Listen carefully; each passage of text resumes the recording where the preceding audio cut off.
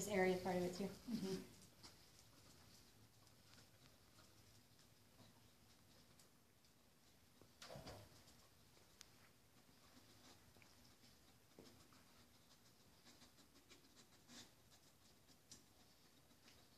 Alert. Wait one, just one second. No, he's close, you're close. Okay. I just want him, cause he got his head stuck in there. Okay. Get it, stay over there. You just stay over there and see if he'll take it in. Good boy. Yeah, that's right. Alert. Wait, wait, wait.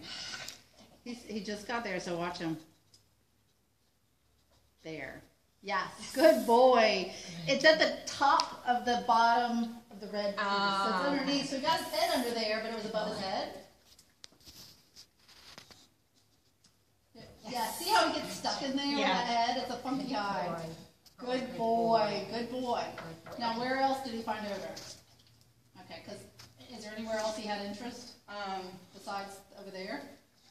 In that other corner? Yes, good boy. I mean, that's what I'm just asking, was there?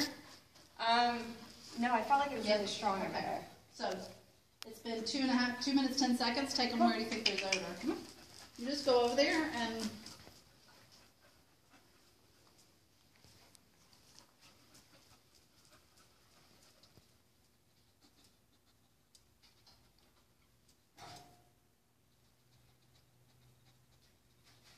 Yes.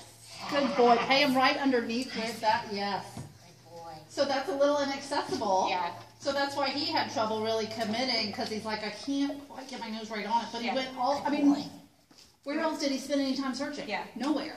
And you know what? Good for him. He went into both corners on his own. He came down. He's like, he gave you the look like there's no odor in this room, Yeah. and it is floating up that way. Yeah, put him on a leash. And so, but when he got over there, man, he worked that. Yeah, Why he else would he did. search that hard? Yeah. And he's just not ever experienced that high. Yeah. So he knew he was an odor, but you know we've always trained them to get to source. Mhm. So when they can't do that, they get a little confused. Okay. So he just couldn't get his nose right on it. And then same over there. He got his head in there, Uh huh.